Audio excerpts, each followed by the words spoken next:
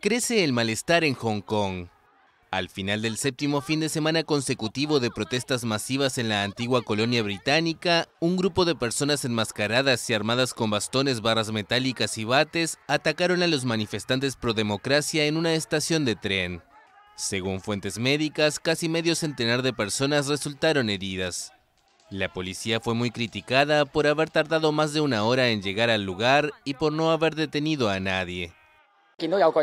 Vi a una persona en el frente golpeada en el suelo, sangrando por todas partes. Traté de ir allí pero no me dejaron, tenían todo tipo de armas, vinieron y me atacaron.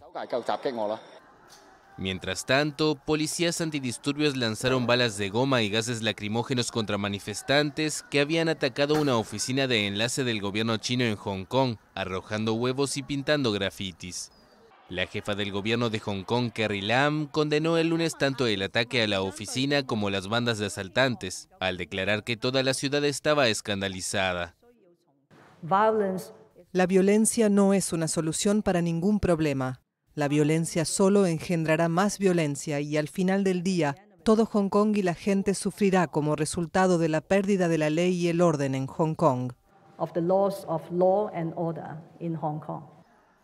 Hong Kong vive inmensas manifestaciones contra el gobierno local pro-Pekín, que comenzaron con el rechazo de un proyecto de ley ahora suspendido que autorizaba las extradiciones a la China continental.